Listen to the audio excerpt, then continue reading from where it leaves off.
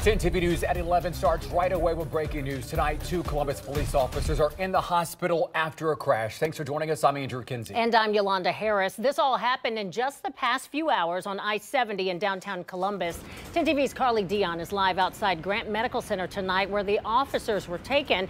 And Carly, what do we know right now?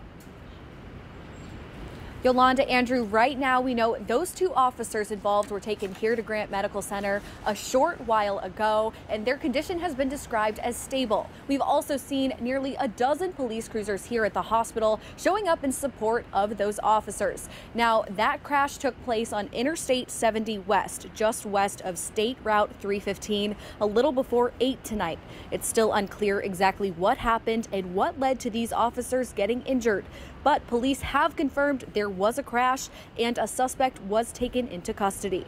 The westbound lanes of I-70 were shut down for about an hour but have since reopened. Now, we're still working to learn the suspect's name at this time and what charges they may be facing, but we'll keep you updated as we learn more. Live at Grant Medical Center, Carly Dion, 10 TV News.